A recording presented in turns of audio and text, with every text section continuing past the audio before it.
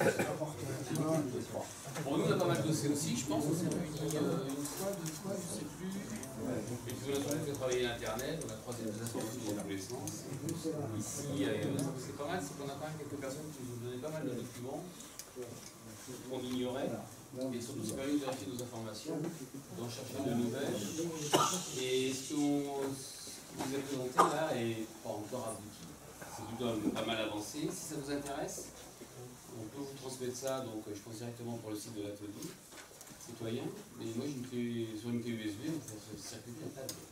Ça. Fait 40 pages, c'est documenté, on a fait des tracés, ça reprend euh, plein de blabla, ça reprend pas mal de détails, et nous, c'est donc aller au tout ce qui touchait aux trajectoires, l'espace aérien, et la circulation, un tout petit peu sur ce qui se passe au sol.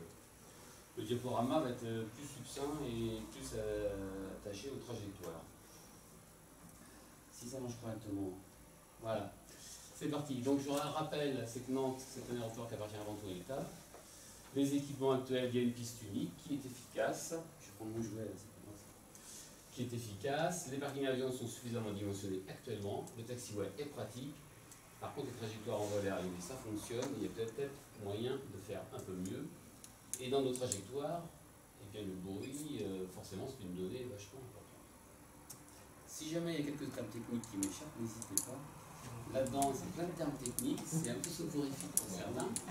Euh, c'est traduit dans la mesure du possible et il y a des liens internet, cliquez c'est vulgarisé, c'est des personnes passionnées qui ont pas mal travaillé là-dessus. On mettra sur le site. Euh. Ouais, le, document. Donc, représentation de nouveau de l'aéroport, l'ancienne piste. C'est important cette ancienne trajectoire parce que c'était une voie de circulation. On voyait bien sur le dessin précédent. Parce qu'il y a une prolongation qui existe juste presque en face. Ça va nous servir un peu plus tard, vous allez voir. Les fameux taxiways qui ne sont pas forcément pratiques parce qu'ils sont perpendiculaires. Quand on se pose, on est obligé de dégager à droite ou à gauche. La piste, quand on s'aligne ici, fait 2900 mètres pour décoller. Quand on va à l'autre extrémité, c'est 2200 mètres aussi. Quand on atterrit, ça fait 2690 mètres, c'est un petit peu moins. Il y a ce qu'on appelle la seule décalée. Là, c'est suffisamment dégagé avec du bitume. Là-bas, il faudrait améliorer cette piste. Cette piste fonctionne aujourd'hui sous dérogation. Ça nous avait été annoncé euh, par le numéro 2 de la On a trouvé pourquoi il y a des dérogations. Il y a une voie de chemin de fer ici qui risque de perturber le système radioélectrique qui nous sert à atterrir, qui s'appelle l'ILS. L'ILS, c'est comme un système toboggan. On est guidé sur un axe et sur un plan de descente pour atterrir du sud vers le nord. Mais comme les antennes sont situées par ici, pour nous aider dans l'axe de la piste à atterrir une fois sur l'axe, ça pourrait perturber. De l'autre côté, c'est un bois qui n'est pas à sa place, des eucalyptus qui dépassent de quelques mètres. Le fonctionnement d'une antenne, justement celle qui lui permet de descendre sous un plan continu. Euh, la troisième dérogation, c'est le fameux dégagement de 60 mètres qui nous manque au. Il faudrait un petit peu, petite bande de. Vue globale des aérogares, pour les aides à la circulation, aujourd'hui il y a ce qu'on appelle le hall 1, 2, 3, le hall 4. Voilà comment se partent les avions à peu près. Il y a pas mal de parkings là, effectivement. On pourrait peut-être mieux faire si les parkings avions étaient étendu, notamment ici, éventuellement par là. Il a été prévu sur un plan que vous allez voir plus tard, une projection, des extensions de parking avion partout ici, jusqu'au petit sans toucher aux installations en place, notamment les pompiers qui sont ici. Le chenil aussi. Non, le chenil, il est là. Toujours pas au chenil. C'est 60 ou 600, je me souviens. 600. Les deux bungalows, hein, deux euh, Donc ça, ce document est super détaillé. Là, ça va être un peu moins. Aujourd'hui, on a des aérogares qui fonctionnent bien, 5 jetés. On sait que demain, notre l'avion un petit peu moins. Et la problématique permanente, c'est le survol de manière décalée. Pour une arrivée, est obligé de reprendre une commande à la main. On sait faire pour atterrir dans ce sens-là. Ça, ce sont les trajectoires de départ. Ça s'appelle un chevelu, ça. On voit des trajectoires qui partent un peu dans tous les sens, c'est le décollage. Les arrivées, on va se concentrer quand même sur un tout petit pinceau. Mais ça fait quand même quelques centaines de mètres de large. Parce qu'on fait ce qu'on appelle les trajectoires de classiques. C'est pas précis, précis, précis. On a un moyen de guidage qui est fixé ici, au sol. C'est une balise radioélectrique. On va voir peut-être un tout petit peu plus loin. c'est pas très précis. Nous, on suggère d'avoir le même système pour l'atterrissage par le nord que ce qui existe par-dessus. Là, on a une précision extrême pour atterrir en automatique, même par le brouillard, et quasi aucune visibilité. Alors là, on est obligé de descendre avec un moyen de guidage pas très très précis, même avec un guidage satellitaire. C'est ce qu'on fait aujourd'hui. Dans les grandes recommandations de la DGAC aujourd'hui, c'est de pouvoir utiliser les systèmes de guidage satellitaire. Ça permet de faire des économies en installation radioélectrique, notamment au sol. Ce que nos avions qui sont équipés, ça coûte rien aux contribuables, puisque c'est la technique embarquée. Ça permettrait d'avoir un survol plus précis, mais je répète, on va voir ça plus loin. Par contre, on ne peut pas arriver de manière décalée 13 degrés on a fait des simulations, il faudrait arriver avec un décalage beaucoup plus de presque dans l'axe de la piste, 5 degrés max toléré. Voilà. Une autre problématique, c'est le bruit avec un système de mesure qui reste aléatoire. Il est prévu 110 000 mouvements à Nantes, on sait qu'il y en a 47 000 en 2014. Et que le bruit qui a été pris en compte, c'est une zone extraordinairement large, alors qu'il faudrait qu'elle soit plus restreinte. Ça, c'est le domaine du bruit. 47 000 commerciaux. Après, 47 000 commerciaux. Il faut rajouter euh, 20 000 à peu près. Qui impactent de mémoire 54, 5 400 habitants. Je rappelle que nous, c'est Concernant le bruit? Et les trajectoires, c'est le fameux tracé orange. Voilà une simulation qui a été faite par un avionneur qui ne souhaite pas que son nom soit diffusé, mais sachez que c'est fait partie des 3 ou 4 grands constructeurs d'avions.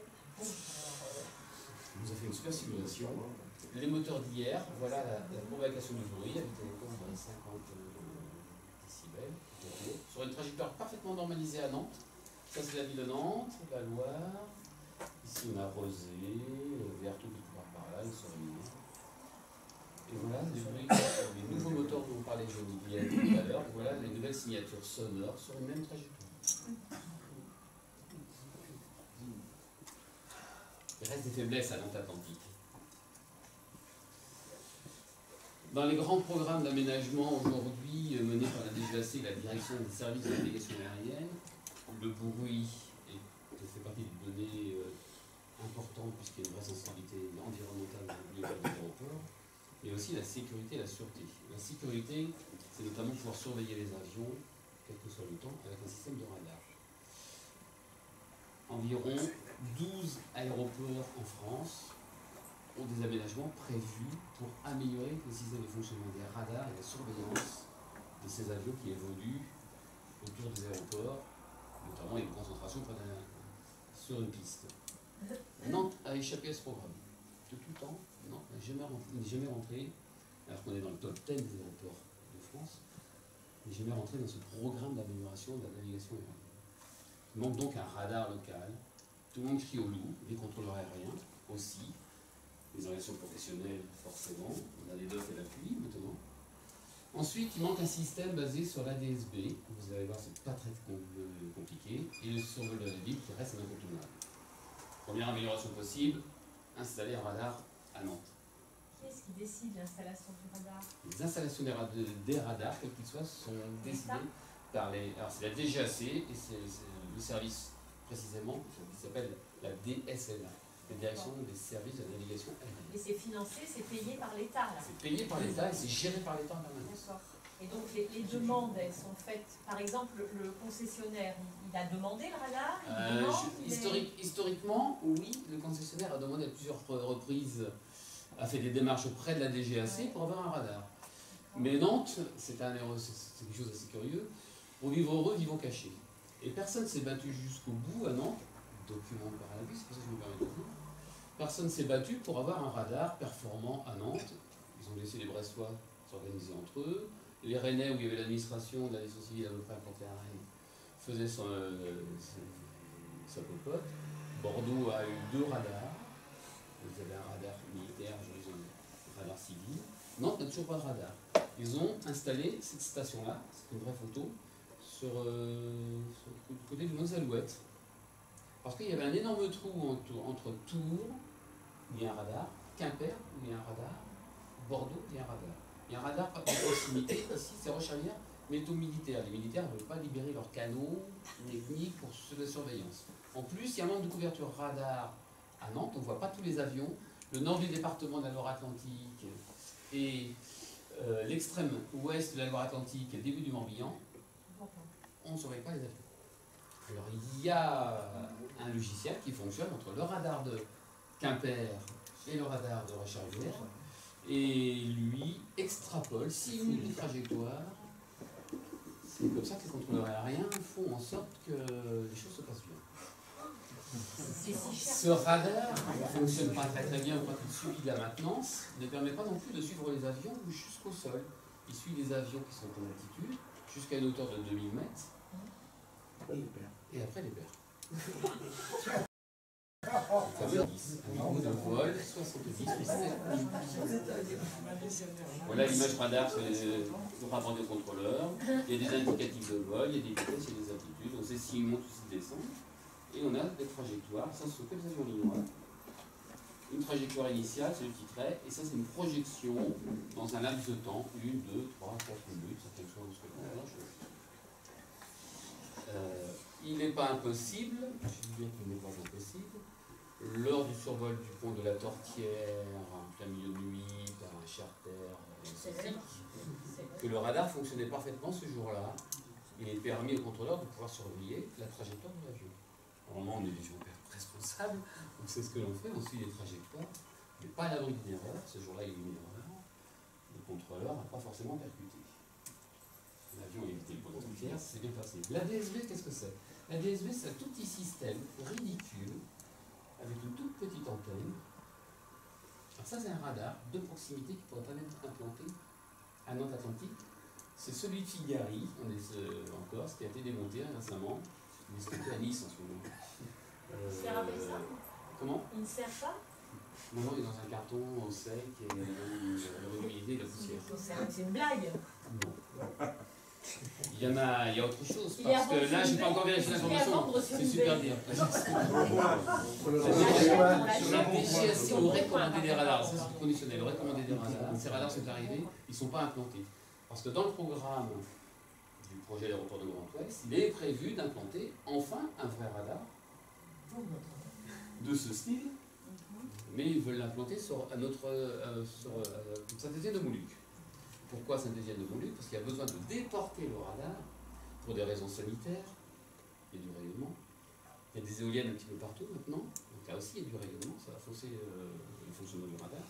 Et en le déportant à Saint-Étienne de Montluc vers le nord-ouest, ça permet de couvrir cette fameuse zone extrême nord-ouest du département et le Morbihan où il n'y a pas de radar, il n'y a pas de couverture.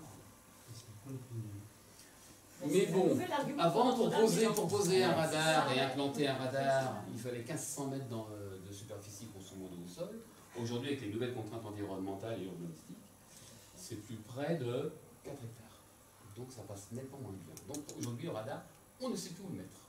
Et on a des documents, donc la DGAC s'interroge, mais comment va-t-on faire?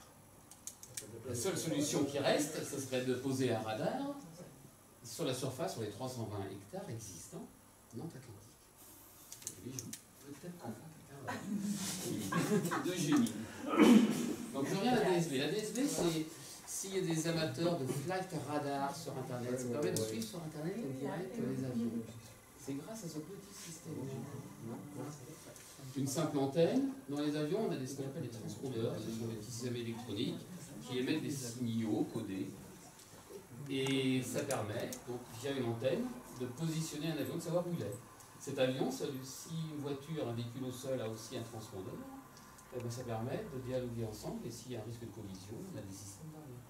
Le contrôleur aérien, dans sa tour de contrôle, qu'il qu'il ait 10 km de visibilité ou alors euh, moins de 50 mètres parce qu'il y a du brouillard, c'est sur un écran tout ce qui se passe. Deux véhicules au sol peuvent dialoguer avec leur système électronique. Ça évite toutes les collisions. Ça coûte rien du tout. Ça coûte vraiment rien. Mais c'est pour ça qu'on n'a pas d'ASV aujourd'hui à Nantes Atlantique. C'est pour ça qu'on ne peut pas suivre les avions avec Flight Radar, la plupart des avions. Ça. C'est des systèmes embarqués dans les. Ah, ce sont des petits boîtiers qui sont euh, trois fois gros comme une boîte d'allumettes, voilà, qui sont embarqués dans les avions. Mais pour que ça corresponde avec Nantes Atlantique. Mais il faut une antenne, il faut un report, une antenne, il faut concentrer les informations. Il passe par un calculateur. euh. Si jamais c'est un peu au début, l'avion. Voilà, aujourd'hui, quand on se pose à Nantes Atlantique, quand on survole la ville, ça s'est fait avec un avion léger. Euh, voilà on arrive sur la piste. Elle se présente comme ça. Donc la piste, elle commence physiquement ici. Alors ici, il y a des antennes, c'est pourri. À partir de là, on peut rouler. On voit pas trop la bosse. Et puis là, le début de la piste est là. Physiquement, il est là. Les grosses marques blanches, ce sont les zones de toucher de C'est très normalisé. Et voilà l'approche, voilà l'exemple de fiche d'approche que l'on a. On va en voir d'autres plus détaillés. Mais cette approche-là, donc je dis bien que c'est ce qu'on appelle une approche de non-precision. C'est une approche euh, classique avec un moyen radio-guidé, de radio-guidage qui est fixé au sol, qui s'appelle un VOR-DME. Ça nous donne un axe et des distances. 12 nautiques, alors un, un système un peu bizarre, 4 nautiques, etc. Le petit point qu'elle a, c'est pour euh, c'est un code travers la tour Bretagne. Et nous, ce qu'on propose, c'est d'avoir, puisqu'on a un système très performant pour se poser du sud vers le nord, on aimerait bien avoir le même système du nord vers le sud.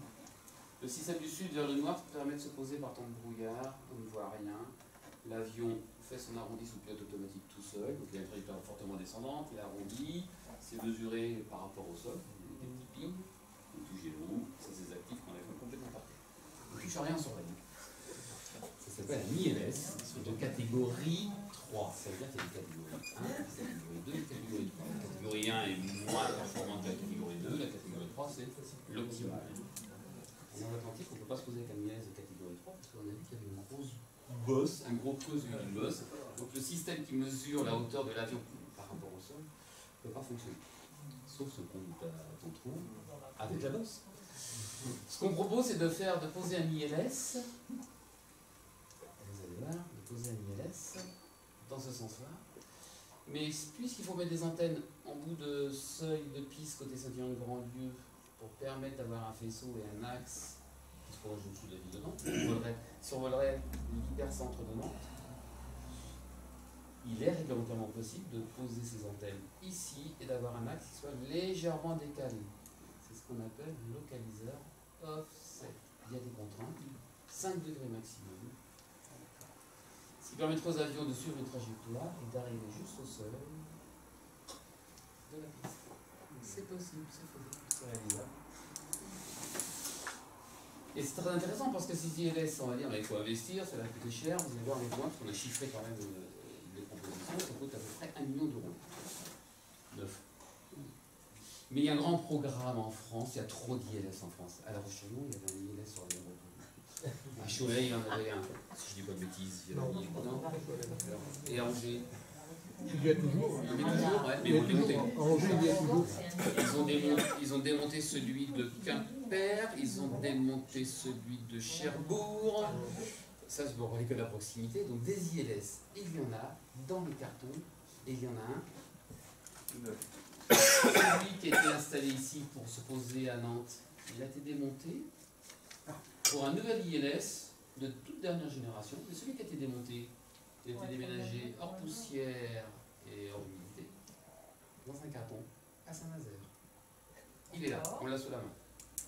Il existe, et on sait qu'il existe. Je dois même avoir une de référence du carton. Ça, c'est. Il y a un canard qui aimerait ça, je pense. Pour les arrivées par le nord, ce- par le nord, ce qu'on propose en plus, c'est peut-être déjà tout parlé, c'est un terme un peu technique, c'est un tracé euh, de radionavigation, RNAge, ou GNSS repensé. Actuellement, on a des trajectoires comme ça, alors qu'il y a un énorme programme international, et à plus forte raison européen, repris par la DGAC, c'est ce qu'on appelle des CDA, ça change de nom, ça s'appelle maintenant CDO. Continuous Descent Operation, Continuous Descent Operation.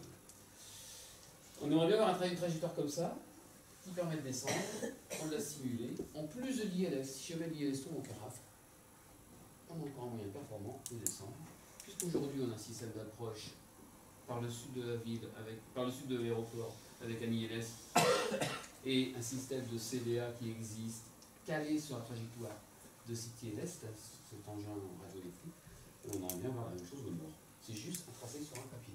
C'est juste un tracé sur un papier. Mais quand on utilise un ILS, quand on descend sur ce toboggan avec un axe et un plan d'approche, il faut qu'on ait une acquisition de références visuelles juste avant d'atterrir. Et on a besoin d'une rampe lumineuse. Ça permet de descendre encore plus bas, de pouvoir retarder l'acquisition visuelle de la piste même. À partir du qu'on a une, ré- une référence visuelle déjà de l'axe matérialisé par une rampe lumineuse, eh c'est un plus. Quand elle fonctionne, ouais. À ma connaissance, elle n'est pas tombée encore. Parce qu'avant tout tombe en panne parce qu'il n'y a plus aucun investissement, plus personne ne fait rien. Alors récemment, euh, il y a tout un système de balisage de piste de, sur le côté d'une piste et 300 mètres sont partis en fumée. Nous, ce qui nous intéresse, ça serait d'avoir une rampe lumineuse qui part du seuil de piste. C'est ça la fameuse raquette de retournement. Qui part du seuil de piste et qui se prolonge. Il faut au minimum 420 mètres. Contrainte réglementaire. Voilà ce que donnerait ce des trajectoires aujourd'hui, ce qu'on appelle en RLAF GNSS, des trajectoires aujourd'hui à long d'Atlantique quand on arrive à nous survolant la ville, et ça donc la loi. On approche une hauteur de 3000 pieds. On a un point de désir euh, qui s'appelle RS 400 On propose de remonter le plancher de cette approche à 4000 pieds. On gagne un tiers de hauteur, 30% plus haut. On descend au même endroit. On a un plan de descente qui passe de 3 degrés de à 4 degrés, c'est un peu technique. Ça permet de descendre sur la piste. Ça, c'est quand on est uniquement en GNSS. La trajectoire actuelle, elle est décalée de 13 degrés, c'est celle-ci, ça nous amène vers la piste. Le trait noir très fin, c'est l'axe de la piste. Et ce qu'on propose, ce qu'on propose, on va pas survoler les mêmes personnes. Si on recentre euh, l'axe de finale, l'approche finale euh, ici, et il y a une contrainte. C'est la pointe de l'île de Nantes qui sera un peu plus survolée. Sachant qu'il y a quelques projets urbanistiques. Mais je vous rappelle qu'on propose, on propose quand même de passer un peu plus haut.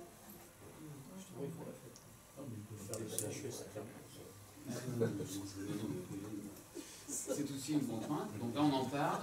Il y aura vraisemblablement la nécessité de refaire un plan d'exposition de relief, un PEB, avec le- les contraintes administratives qui vont. Ce que refuse aujourd'hui, déjà, pour les, les installations actuelles, le préfet en charge de ce dossier. Donc voilà ce que ça donne 13 degrés. Les changements de décalage de la trajectoire. Non, Il y, a, il y a- il y a quelque chose là, parce que euh, bon, tu survoles un peu plus le centre-ville, mais d'un autre côté, tu as la pente qui a été accentuée, Oui. donc euh, tu compenses un peu le. Alors le fait de rehausser une pente d'approche pour descendre de manière plus pentue, ça existe, hein, ça se fait, on le fait couramment ailleurs. Là où il y a des contraintes environnementales, notamment.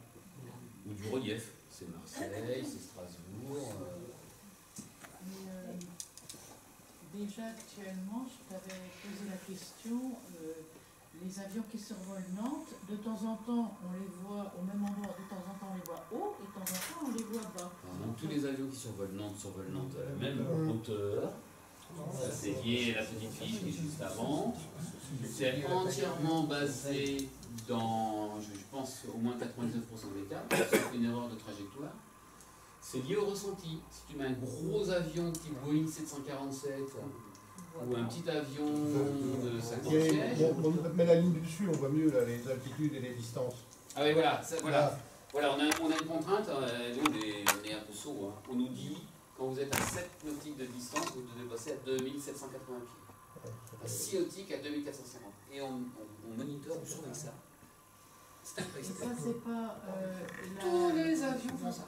c'est pas la hauteur euh, mini qu'il faut qu'ils respectent? Ce sont tous les avions qui font ça. Ah non, c'est non, parce que si, si, si tu passes trop trop haut, Après, tu, après, après, ça hypothèque la, tu peux la- passer la- plus haut, l'approche. mais le point clé, il est là. C'est ce qu'on appelle un miss approach point, une approche euh, ratée. On a un point clé, soit on pousse sur l'atterrissage, soit si on est comme ça, ou alors si on est comme ça, c'est remise de gaz euh, ordinaire. hein, Donc nous, on vise ce point, on vise ce point clé là qui, qui- qui apparaît ici. Au même endroit, la même hauteur. C'est toujours au même endroit, à la même hauteur. C'est pas le même avion.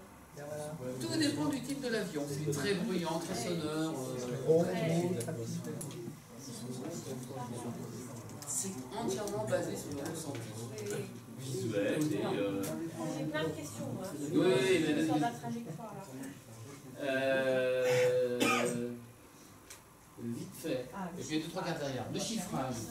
Une antenne ADSV pour pouvoir suivre sur Flash Radar ce qui se passe dans l'Atlantique, ça coûte 200 000 euros. Un radar avec une antenne sur place, ça coûte environ 1 500 000 euros quand Le pylône radar avec euh, la partie euh, gros œuvre, le béton, les fondations, c'est 125 000 euros. 9. Un ILS de catégorie 1, c'est-à-dire qui nous permet de nous poser sans ces fameuses petites radios son qui forcément pignent vers le sol pour nous dire ou faire arrondir le pilote automatique au. Ça coûte 1 million d'euros. C'est ça qu'on a déjà. Le top du top qu'on a de l'autre côté, ça coûte 1 million 250 000 euros. Mais ceci, il existe, hein, il y a un carton, et il y en a plein qui sont démontés sur un tas d'aérodromes. Oh. Pourquoi est-ce qu'ils sont démontés Parce que ça coûte très cher en maintenance. hein. Alors, euh, le- je ne sais plus, dans, dans le un détail ici, Ils sont, ils sont il y a un grand programme d'économie. Ils sont remplacés par ces fameuses approches au satellite. satellitaires, ce qu'on appelle les GNSS. Alors, j'ai quelque part là-dedans, le programme est cité, le programme est chiffré en économie, un peu plus de 100 millions d'euros par an d'économie pour la DGAC, le démantèlement des ILS qui servent pour trop peu d'avions sur un grand nombre d'aérodromes en France. La DGAC démonte, les services techniques d'aviation civile démontent un tas d'ILS à La Roche-sur-Yon pour euh, 10 avions par semaine, ce n'est pas utile. Une maintenance trop lourde.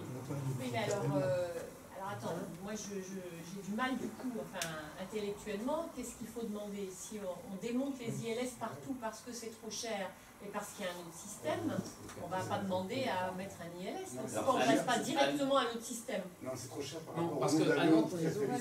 Oui, à Nantes-Atlantique, la problématique aujourd'hui va être inévitablement le survol de la ville. On survole la ville avec des moyens de guidage qui sont euh, qualificatifs, Archaïques. euh, D'accord. c'est pas approximatif, D'accord, d'accord. c'est aléatoire. On a vu tout à l'heure sur photos. pas- Pourquoi on passe pas à- à- au stade d'après Alors, non, il faut savoir que les ILS existeront encore pendant euh, beaucoup de décennies Ouais. parce que le- le- les guidages avec les satellites n'ont pas en- encore atteint la précision des ILS. Par contre, le- maintenir un ILS, ça coûte beaucoup d'argent. C'est des installations au sol qu'il faut périodiquement euh, vérifier. Ouais. Et, et bien sûr, des installations au sol qui entraînent des contraintes environnementales. Parce que, évidemment, euh, le fait que le système, le- les antennes soient placées à tel endroit fait qu'il y a plein de choses qui peuvent en se faire. Alors que les systèmes basés sur le GPS, ben, il n'y a, plus- de système au sol. Euh, voilà. Alors, les aéroports de moyenne importance, euh, on enlève les ILS, ça coûte de l'argent. Euh, on a cité La Roche-sur-Yon. On sait qu'à d'ici 10 ans, dans la région, il n'y aura pratiquement que 4 aéroports qui auront des ILS, c'est-à-dire il y aura Brest, il y aura Rennes, Nantes et Deauville. Tous les autres aéroports, il n'y aura plus d'ILS. Euh, on mettra des procédures euh, basées sur le satellite. Dans un but d'économie, en fait. Pourquoi? Parce que les autres aéroports n'ont pas un trafic qui nécessite d'avoir. Euh, euh, Lorient, par exemple, le type, c'est Lorient, ils ont plus d'ILS aussi des militaires, mais Quimper, ils ont très peu d'activité. euh, Et tu penses que pour les aéroports avec une grosse activité, on gardera les ILS longtemps? C'est sûr. C'est sûr. C'est J'ai- sûr, pour plusieurs dizaines d'années encore. J'ai un chiffre très précis, hein, c'est un chiffre, c'est une doc euh, de la DGAC. On dit 98 aujourd'hui, c'était il y a un peu plus d'un an, il y avait 98 ILS en France. La stratégie de la DGAC, c'est de tomber à 26. Oui, d'accord. C'est en cours de vas en avoir attaqué l'occasion. Ah, il va y en avoir des gagnants. Donc du coup, on le sera pas neuf. De toute façon, l'ancien Nantes qui a été remplacé il y a deux ans, plutôt plus maintenant, il est à Saint-Nazaire dans un carton. Il est vraiment là. Ça, hein. il faut compléter un petit peu aussi quand même le, sujet pour dire que euh, il y a des ILS qui sont plus performants que d'autres. Oui. Et euh, si on a un ILS tout simple, qu'on appelle catégorie 1, l'avion peut descendre à une hauteur de 60 mètres. Si on a un ILS de catégorie 2, on peut descendre encore plus bas à 30 mètres. Et si c'est un ILS de catégorie 3, on peut descendre à 15 mètres et après c'est pratiquement jusqu'au sol. Donc, on va garder les ILS, ceux qui permettent de descendre le plus bas, sur les aéroports importants. Parce qu'il y, a- une nécessité vu le trafic. Par contre, c'est aucun intérêt de garder un ILS qui permet de descendre à, à 15 mètres du sol à la Roche-sur-Yon, par. Parce que euh, ça ne se justifiera pas, il n'y a pas assez de trafic. Donc là, on enlève l'ILS et on met, on, met, on, met, on met un système GPS. Hein. Par contre, il va bien falloir qu'à Nantes, euh, si on veut faire poser des avions le jour où il y a du brouillard, il faudra toujours un ILS. Alors justement, deuxième question. Je peux, Oui. je peux Vas-y, envoyer vas-y, toutes vas-y. les questions Alors je me déplace parce que. Alors, l'ILS, ça permet d'éviter tous ces, cette Oui, largeur, ces avions qui survolent ici ou Mais- qui survolent là. J'ai bien compris. Le problème, me semble-t-il, Mhm. c'est que quand la DGAC nous a présenté sa possibilité de rester à Nantes Atlantique et son nouveau PEB, elle a intégré l'idée de l'ILS. Et donc, elle nous a présenté un PEB avec justement une Une trajectoire dans droite L'axe. Voilà. dans l'axe. je sais pas si tu te rappelles, mais j'avais interpellé un monsieur qui s'appelle euh, Roger Collard, qui s'appelle euh, Robin, Oui. le responsable pour le Grand Ouest de la circulation aérienne. Et il m'a dit non, c'est pas possible, on peut pas faire autrement. Alors moi je m'étais planté parce que je lui ai dit on peut faire 7 degrés. C'est pas D'accord. 7, c'est qu'on peut faire 5 degrés. On peut décaler de 5 degrés comme ça pour limiter le nombre de personnes Ok. survolées. D'accord. Eux, donc tu me confirmes que eux, il faudra qu'on vérifie sur leur PEB. Eux, ils ont fait l'ILS, ils ont dit il faudra un ILS. Et du coup, ils ont fait l'axe particulièrement tout droit. Mais mieux. Françoise, mieux Françoise. Oui. Je t'interroge. Non, mais vas-y. J'ai le Moi, j'essaie de document, comprendre. hein, j'ai le euh, document où la DGAC a prévu un ILS offset. Un ILS avec un dé- pas Décalé décalé, oui. Y Ils compris avec un radar sur place. Et il est où le document de cinq Il est- degrés 5 degrés avec le radar Et, sur les et, Les Normandie. et, Et drones, il devait faire un rapport qui devait Et- sortir. Il devait sortir. Alors, je crois qu'il y a vraiment un journal qui va être de plus en plus intéressé. Il y a un rapport qui est, il y a un rapport qui est mentionné dans le petit document qui devait sortir, euh, je vais te dire une bêtise, peut-être 2009 ou 2013, que tout le monde attend. Y compris les services internes de la DGAC. Concernant Mont Atlantique et ses études. Alors, mais ça, il faut sortir ça. hein. Alors, maintenant, j'ai une autre, euh, une autre question quand même. euh, Parce qu'effectivement, le, le gros problème, c'est tout de même euh, qu'on n'a pas vraiment de chance avec cette piste euh, qui tape sur le centre-ville, enfin, qui est sur le centre-ville. Et donc, est-ce qu'il faut qu'on abandonne euh, définitivement l'idée qu'on avait évoquée à un moment donné? Je me souviens, Hervé, on l'a évoqué à plusieurs reprises en disant mais pourquoi, quand il fait beau, quand euh, on voit, quand vous voyez, comme Mm. aujourd'hui là, pourquoi est-ce que vous ne reprenez pas, pourquoi est-ce qu'on ne vous fait pas reprendre la Loire, l'axe, ce qui se faisait il y a 15 ans, c'est-à-dire euh, les avions arrivaient là Ouais. et tournaient, et donc évitaient le Ouais, centre-ville. là, je ne le présente pas dans, euh, là, sur le diaporama, mais c'est dans. Non mais c'est- pour moi c'est important qu'on se demande si on le présente comme La une option ou pas. Ouais, la possibilité d'avoir une approche à vue quand il fait un très beau, pour, pour ne pas Ça passer se- sur le Ça, centre-ville. ça se fait à Nice, par exemple. Voilà. Mais exactement. Voilà, et donc que l'ILS serve effectivement dans les conditions que vous donnez quand euh, le temps euh, n'est pas bon, je sais pas quoi, ok, mais euh, pour que ce soit pas... euh, Si tu veux, le, jour où il fait mauvais, euh, C'est mieux, les, les- les- les ils gens les- les entendent verront pas les avions. Je suis bien hein, d'accord, euh, suis bien ils d'accord. entendront, mais ils les verront pas. je suis bien d'accord. En revanche, effectivement, quand même, euh, ceux qui sont anciens ici savent bien qu'avant, on ne survolait pas ni Carquefou, ni euh, Mais Nantes, on se- comme ça. Donc, euh, Mais bon, il y a aussi une, une- une autre stratégie. Aujourd'hui sur quasiment tous les aéroports, c'est qu'on préfère concentrer le bruit toujours au même endroit, sur les mêmes personnes, plutôt que le disperser un petit peu pour tout le monde. Oui, mais si ça se fait à Nice, ça veut dire qu'ils n'ont pas pris cette stratégie-là. Non, non, parce qu'à Nice, euh, il y a quand même le lobby en place, et surtout le Cap d'Antibes, si tu veux, C'est-à-dire qu'à Nice, ils ont un avantage, c'est pour la mer. les bateaux et les très belles propriétés, c'est un régal, et donc ils ont autorisé les approches à vue. Oui, mais l'approche se fait l'approche sur, sur la mer. Oui, On reste sur l'eau. Dans la, dans la Voilà, satellitaire. Une ronde d'approche lumineuse, ça coûterait 500 000 euros. Et puis l'achat du foncier, parce qu'on va s'étirer sur 420 mètres de euh, au total. Et c'est pas 420 mètres, parce qu'il y a déjà toute une partie qui est couverte par l'enceinte de l'aéroport. Euh, on en est au prix du foncier approximatif, ici ce chiffre, 30 000 euros. Donc sous réserve de vérification, c'est pas le chiffre qu'on a transmis l'autre jour euh, à un grand quotidien on a de certains chiffres. Euh, on était en deçà de ça. de ces chiffres-là. Donc euh, sortez vos clés USB. Tu, tu prends pas de la récupération de matériel, c'est du matériel. Non, c'est pas On longtemps. peut vraiment tomber. Là, si on fait ça, on est sur le haut de la fourchette, très haut de la fourchette. Ce qui fait que le, mat- le, le chiffrage que tu as donné l'autre jour, avec de la récupération, il passe. Je sais, on était peut-être un peu sur le bas de la fourchette. Une question Euh, Oui, dans l'approche satellitaire, on Oui. a quand même une sécurité optimale.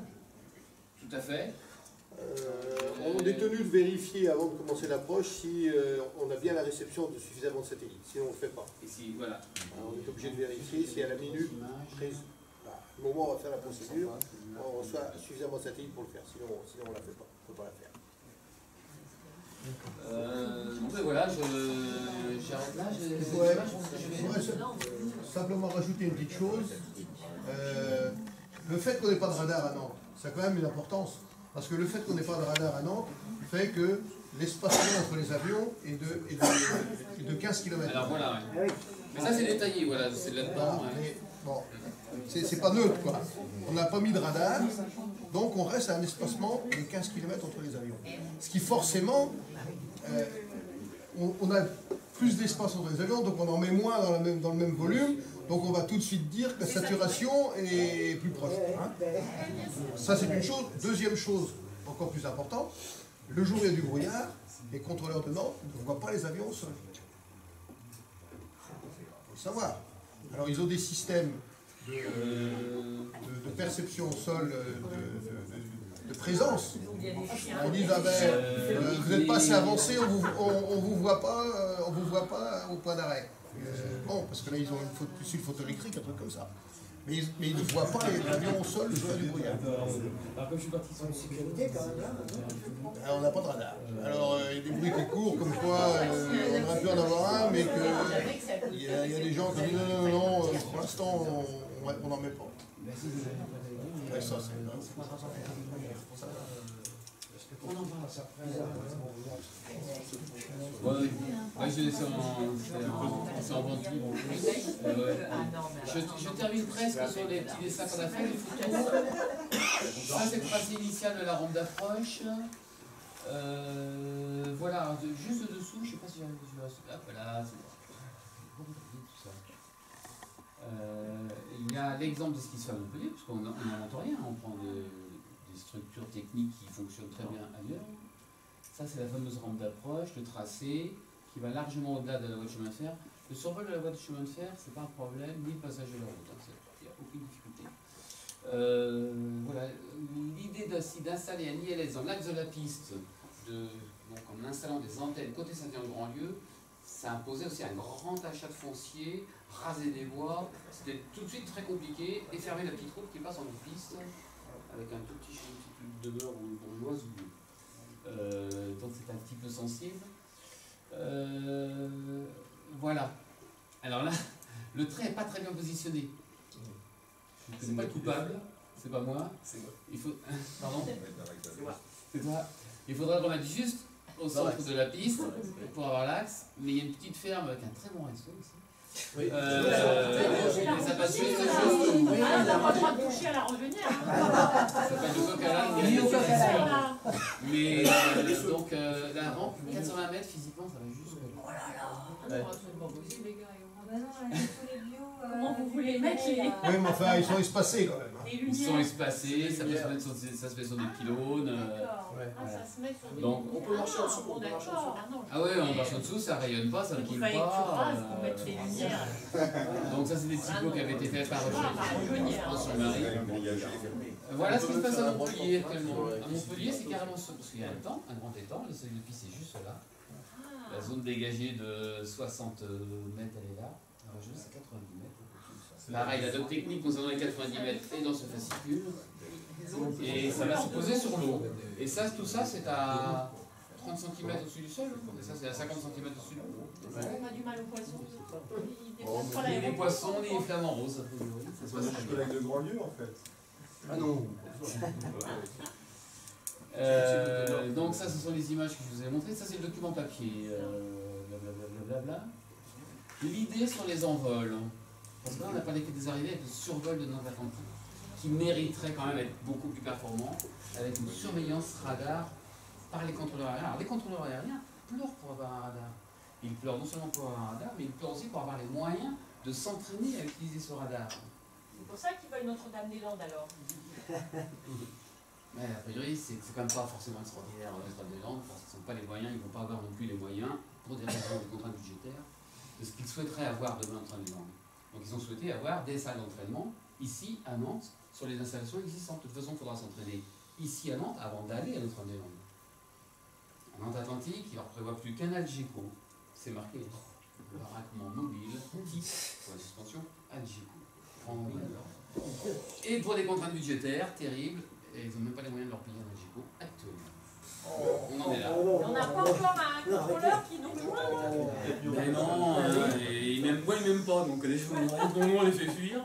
Et Alors, mais, non, mais euh, Je crois que dans- on est dans un système où il y a un Ils ont- énorme il y a- droit il y a- de réserve, un il y, a de la, fonds. il y a de la répression chez Il n'y en a pas un qui est parti récemment à la retraite là Si, si, si. Il est plus Nantes, là. Il il Il. Leur autorité de tutelle, c'est qui ces gens-là? C'est la Ministère DGAC. Euh, voilà, donc sur les trajectoires de départ, il y aurait peut-être des choses aussi à dire. C'est que ce qui se fait à peu près partout ailleurs, ça ne fait pas forcément aux compagnies aériennes, aussi, c'est pas sensible, d'allonger les trajectoires de départ. Voilà le type de fiche que l'on a.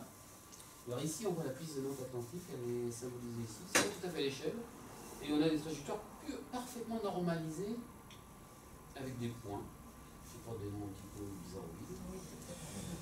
Quand on décolle vers le sud, notamment, on est quasiment au-dessus de. On passe à peine Saint-Étienne-Grandlieu, on tourne très souvent, ça fait trajectoires.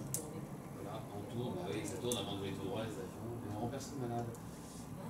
On est, ce qui se fait à Bordeaux, ce qui se fait à Marseille, ce qui se fait à Strasbourg, ce qui se fait euh, à Toulouse, euh, c'est qu'on monte, on fait des montées dans l'axe qui peuvent être c'est spécifié dans le document, contraintes par le taux de montée imposé. Et la DGAC précise bien aujourd'hui avec cette nouvelle trajectoire, dans les derniers comptes rendus de commission environnement, c'est que passer 4000 pieds, le bruit n'est plus significatif par le sol. Passer 1200 mètres, le bruit de hauteur, le bruit des avions n'est plus significatif. Donc pourquoi pas ne pas, pas passer 4000 pieds au-dessus du lac de Grandlieu, monter à 1200 mètres dans au-dessus du lac de Grandlieu, et tourner à gauche ou à droite? C'est entièrement possible et réalisable. C'est que du tracé combien de pieds au-dessus du futur emplacement de, du CHU là, tout à l'heure Ah voilà, euh, en finale, quand on est en finale, on est à 3 nautiques à tout casser. Euh, à 350 mètres, trois- quoi. Comment? 350 mètres. quoi. Ouais, 350 mètres seul. 100 pieds. quoi. En finale, hein, là c'est pas du tout la même chose, hein, parce qu'entre une trajectoire au départ et une trajectoire à l'arrivée, euh, à l'envol, tu as beaucoup de puissance sur le moteur, On monte fort. alors que, ouais, et on monte fort, encore le train qui génère du bruit dehors, qui n'est pas forcément rentré. Alors que sur une arrivée, t'as- on fait beaucoup, beaucoup moins de bruit. Dans les courbes de les signatures sonores des avions, c'est pas du tout le même niveau de bruit. Un avion qui est en finale pour l'atterrissage qu'au décollage. Donc voilà, ça, ça serait possible. Il n'y a pas chiffré, hein, il n'y a rien de chiffré, ce sont. Ça, ça va avoir un coût pour la compagnie aérienne, parce que l'avion, avant de prendre sa route, peut-être euh, directe vers un point, il va être obligé de prolonger de la longueur de ce segment-là. Donc a un coût, ce sont des taxes carbone en plus. Euh, c'est- mais c'est pas un coût direct pour la société, c'est que pour la compagnie aérienne. In fine, peut-être sur un billet de transport aérien. Et les trajectoires d'arrivée, ça, ça c'est dessiné un peu comme ça, là, c'est ce le petit papier qui apparaît dessous. Ça, c'est dans le document euh, qui est là. Et voilà, ça ferait décaler un point clé qui est ici pour un nouveau point clé qui serait là. Mais c'est le même. Et au lieu d'arriver, je peux pas zoomer, là, je ne sais pas trop comment jouer. Au lieu d'arriver à 3000 pieds ici, on pourrait arriver à 4000 pieds. Tu vois là-haut, c'est marqué 100%, tu peux mettre plus. Ah ouais, ah bah oui, merci. Tableau, là. Waouh. Mais bon, c'est vrai, c'est juste de la lecture de notes techniques. euh, c'est- Actuellement, on descend de, on descend à 4000 pieds ici et 3000 pieds ici. Et ben nous, on dit qu'il faut descendre à 4000 pieds ici ou voir 4000 pieds ici et est encore plus loin. La descente en continu, ce qu'on appelle CDA ou CDO, ça, ça crée aucune contrainte. Et même sur des contraintes très gros avions très massifs. Euh, je crois que c'est la seule chose que j'ai intéressante après. Euh, allez, voilà, si ça, ça peut être intéressant, parce que ça va de nouveau parler. Voilà l'exemple type d'une trajectoire. C'est ce qu'on avait vu tout à l'heure. On arrive à 3000 pieds, 900 mètres du sol. Quand on arrive du côté de Carquefou ici, vous voyez RS406 RS408, ce sont des points. Là, on a une coupe. Il serait d'arriver beaucoup plus haut, 4000 pieds au moins ici, quitte à faire un plancher. Alors, la réglementation impose d'avoir une 15 ou une 20 de paliers de trajectoire avant de débuter la descente, qu'on appelle la descente finale, jusque vers la piste. Quand tu dis la réglementation, c'est ponctuel à Nantes ou c'est. Non, non, c'est la réglementation générale internationale. Même en descente continue, il y a quand même. Même en descente continue. Alors après, nous, on peut gérer. Mais le tracé des trajectoires, après, c'est que de la gestion du vol. Un tracé de trajectoire impose un palier pour que l'avion soit stable. Ça, c'est un point clé très très important. Ça nous arrive des fois d'arriver un peu en vrac. Alors, la gestion, là, on a vraiment du boulot. Quoi, hein, euh, pour, euh, parce qu'on arrive, qu'on appelle trop, trop vite. Parce qu'on veut faire de l'économie et tout va, puis on, c'est une course contre la montre, on a boulot tout le temps. Euh, c'est le point clé. là. Oh franchement, tu exagères. Alors, si on se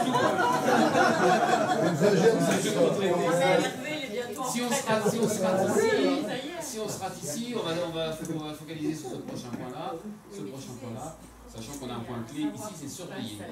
Alors aujourd'hui, ce qui est grisé, c'est si jamais on descend ici trop bas, ça me rappelle qu'un avion est descendu, un avion est descendu du travers RS, le Luxor RS 408, il était là, au lieu de passer là, il est passé ici.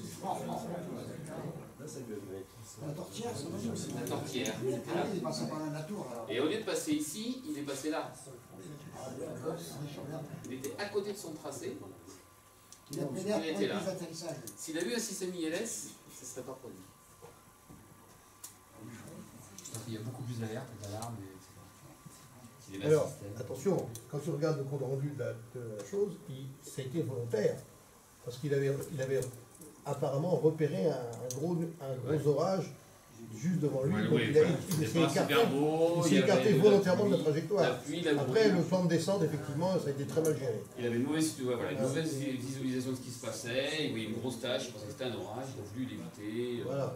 Mais non seulement il, a, il est arrivé ici, cet avion, il est- on va parler de l'accident, mais et il est arrivé ici, il est repassé par là, c'est- alors que normalement, trajectoire, c'est ça. hein.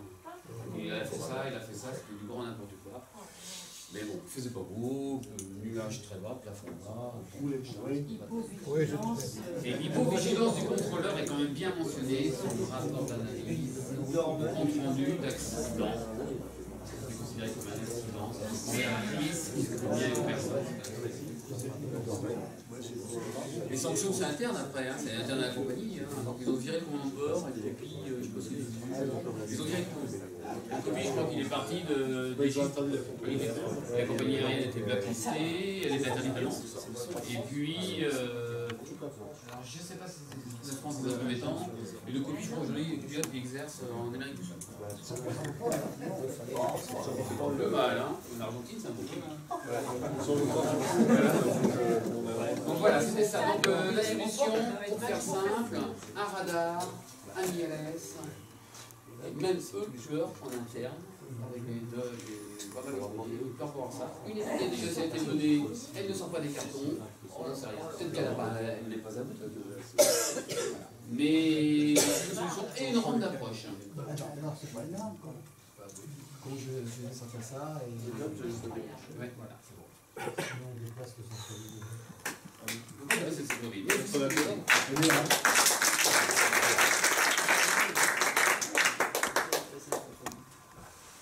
Et pour éviter le bruit, monsieur, vous pouvez euh, ne pas sortir les trains d'atterrissage. Notre sensibilité sur ce coup-là, c'est pas le bruit, c'est l'économie de carburant, parce que dès qu'on sort le train d'atterrissage, c'est une résistance à l'avancement de l'air, on est obligé de remettre de la poussée des gaz, donc on reconsomme, donc on retarde cette échéance. Dans- Mais on va pas le retarder trop longtemps parce que des l'avion proteste. Ouais, en dessous de 400 mètres du sol, euh, c'est bouée d'alarme, euh, je ne sais pas si tu as vu les plans d'action des gens de Londres, justement sur le bruit, ça fait partie de- Ah oui. de, de reculer le plus possible. Euh, Je disais pas de conneries. Et, euh, Et ça vous se savez-. Ouais, il y a des évolutions, il va y avoir des évolutions au 15 avril 2015 Ouais. pour toutes les arrivées par le sud, mais pas par le nord. Ah. Ils ne touchent pas euh, aux arrivées par le nord sur notre Atlantique, ils améliorent les trajectoires par le sud. Bah, Ils pourront peut-être faire arriver plus d'avions par le sud, du coup. Euh, après, c'est le euh, système météorologique qui 60, décide. euh, hein. 40. Bah ouais, Bah, ouais, non, mais- tu sais bien que t'as pas que la météo. Oui, il n'y a pas que la météo. Bon, ça, c'est une autre histoire. Une autre histoire. Ce sont des, non-copains. Euh, Non mais ouais, c'est, ils, ont, ils vont améliorer, euh, ils vont améliorer au sud. C'est dommage, ce serait bien qu'ils s'améliorent au nord, mais euh, bon, c'est pas forcément dans la volonté du moment. C'est une administration qui a beaucoup, beaucoup d'inertie, la leurrer. Euh, la réglementation change, les règlements internationaux et européens prennent la main sur euh, notre système franco-français. euh, la DGAC restera en place, mais euh, ils vont avoir de moins en moins un champ de compétences de plus en plus réduit, donc je pense que ça aussi, hein, c'est une donnée, euh, on en parle, il y a beaucoup d'inertie et de viscosité mentale. euh, et puis les intérêts de Nantes Atlantique et du gestionnaire sont peut-être pas forcément ceux de la vision civile. Bien sûr. Ils D'accord, le gestionnaire, il a eu pour pas un sou un outil qui, qui dégage du cash. Et en plus, on, lui- et en plus, on l'empêche d'aller dépenser ses sous là-bas. Et on lui a déjà versé des subventions publiques. Tout bénef. Ça, c'était. C'est ce que vous évoquiez tout à l'heure sur la, sur la question du, du parking. euh, Ah. Je vais juste ça rapidement. Ça, c'est ce qui avait prévu la DGAC. Enfin, Ouais, c'est ce qui avait été prévu. la DGAC pré- prévoyait en fait un parking pour, euh, bah, c'est ce que tu disais aussi, pour, pardon, pour euh, que des, des Boeing, euh, Les Airbus 380. des Airbus 380, voilà, projet la DGAC. C'est Ça, c'est le parking à, parking à la même échelle. Donc, euh, effectivement, on a de la place en fait pour, pour, pour l'étendre. Ici, en fait, en l'étendant, la DGAC démolissait tous ces bâtiments-là, qui sont donc la tour de contrôle, la, les pompiers. Euh, non, non, non, non, non, Non, non, non, non, pardon, ne touchez pas la tour de Regarde, ils sont contrôle. là toujours. hein. Ils sont là. Les pompiers restent là, le non. bâtiment est là, la tour de contrôle est ici. Démolissait en fait. euh, non, pardon, pas la tour de Non, non, la tour non, de non, contrôle est là. Non, ça reste ici. Ah ouais, dans ce schéma-là. Non, c'est les, Ah pompiers partaient. Dans ce- euh, schéma-là. Dans ce schéma-là, mais pas dans ce schéma-là. C'est l'autre. Ah oui, d'accord. C'est ce que nous on proposait dans euh, en disant bah, on peut mettre autant d'avions, non pas que des, euh, des Airbus euh, 380, mais, euh, mais mettre euh, suffisamment d'avions en tout cas, en s'arrêtant là et sans, sans aller démolir euh, tout, euh, tout- tous ces études. Mais là, là, on fait une projection à 2050 ou 2060, ce qui paraît aberrant, alors qu'il y a, à notre connaissance, notre connaissance, et Roger euh, notre connaissance, il n'y a aucune contrainte matérielle, j'ai dit bien matérielle, ici et ici, à, faire du parking avion. Et donc on pourrait agrandir de presque 50% déjà toute cette zone-là. Si on avait besoin. Mais si on se projette intelligemment, on peut leur dire, mais bon, il il faudrait éventuellement bétonner ça. Parce qu'il ne faut pas oublier, c'est qu'on ne peut rien faire de l'autre côté de la piste. C'est l'intention de personne, et justement c'est pour ça qu'il y a une limite périphérique qui doit être Ah dessinée ici. On ne peut rien faire parce que sachez que par là, il y a un cours de tennis, Il y a des bombinettes. et il y a, il y a un an ou deux, ils ont voulu débroussailler un peu autour du double cours de tennis. Et le premier coup de pelle, euh, ils ont trouvé une bombe. Une bombe. Alors, hop, ils ont tout refermé, ils ont laissé les ronces en place. Mais non, mais il y a plein de Et bombes. le sol est pollué, on ne peut rien faire. On se dire, Ah pourquoi pas faire? Non, non. Parce que sur les 320 hectares d'aéroport, il doit y avoir euh, plus de 50% qui sont de ce côté-ci. Il y a, il y a un dossier, il y a une fille comme ça au ministère de la Défense de site à dépolluer. Comme il n'y a pas de sous, ils en dépolluent un ou deux par an. Et donc, euh, j'ai tenté, hein, parce que ma nièce a travaillé au secrétariat là-bas.